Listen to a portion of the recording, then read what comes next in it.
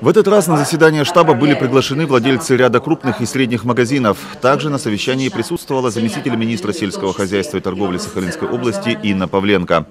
В начале данные за прошедший период с 11 по 29 сентября цены наконец-то сбавили темпы роста. Ситуация с ценами сегодня стабилизировалась.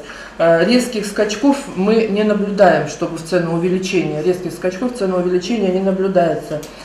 Э, значит, э, в целом на потребительском рынке, хочется сказать, наблюдается незначительное изменение ассортимента. Это в ряде торговых точках отсутствуют э, группы товаров, таких как куры, и этой группы товаров крылышки, бедрышки.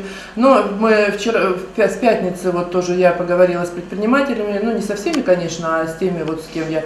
Э, это временное такое явление. Снижение темпов роста – это хорошо, но навряд ли обрадует пенсионеров, которым куриная корочка по-прежнему обходится в два раза дороже, чем в августе.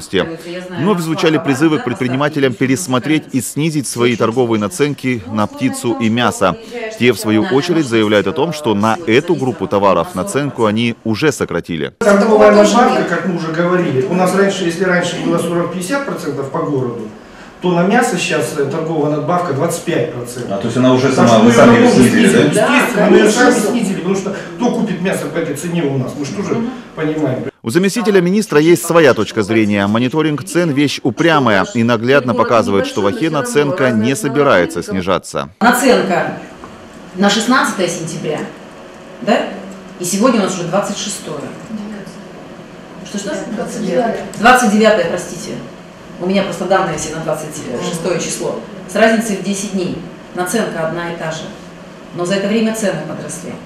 Наценка 40% на 100 рублей – это 140 рублей. Наценка 40% на 120 рублей – это уже 148, правильно? То есть если пересчитать на 100 рублей, то эта наценка уже 48, извините, а не 40 процентов. Понимаете? Оно вот вроде бы кажется 1, 2, 3 процента, 10-15 рублей сверху, а в суммах-то получается это, если пересчитать на кошелек, на, на скажем так, сумму чека для отдельно взятого потребителя, вот это уже весомо. Ну, если мясо и птицу на Сахалине производят в минимальном объеме и можно сетовать на поставщиков за пределами области, то собственных овощей на Сахалине хватает. И опять в Ахе на них накручивают от 50 до 100 процентов. Плодоовощная группа мы себя обеспечиваем более чем мы себя обеспечиваем всеми столовыми овощами и картофелем. Но наценка 50 минимум, 100% максимум. Я не понимаю такого, такой, такой политики ценообразования. Не исключено, что разница во взглядах на цены у министра и предпринимателей заключается в том, что первый сравнивает ахинские цены с расценками крупных оптовиков Южно-Сахалинска в то время, когда наши бизнесмены могут получать товар уже от посредников. То есть товар, не покидая оптового склада, может несколько раз поменять владельца и только потом уйти в Аху по цене, которая существенно отличается от первоначальной оптовой. Чтобы выяснить, так ли это, на совещании было предложено ахинским предпринимателям сообщать в Комитет экономики не только свои цены, но и цены поставщиков. Тогда картина будет ясной. Можно будет сравнить цену оптовую, которую дают Министерство Южно-Сахалинские базы, далее увидеть цены ахинских поставщиков, ну и в финале конечная цена в магазинах. Если в этой цепочке кто-то хорошо греет руки, то делом займется антимонопольный комитет. Подобные схемы были вскрыты в Приморье, где уже ведутся следственные действия.